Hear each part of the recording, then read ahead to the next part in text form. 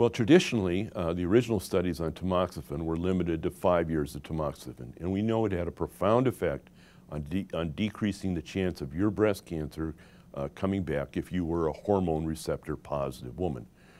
The latest trial that came out compared those women who had it for five years to people who took it for 10 years. And in the premenopausal patient with breast cancer, we found that uh, taking it for 10 years had an overall lifetime advantage of reducing the risk of developing a recurrence of your breast cancer compared to the traditional five years of tamoxifen.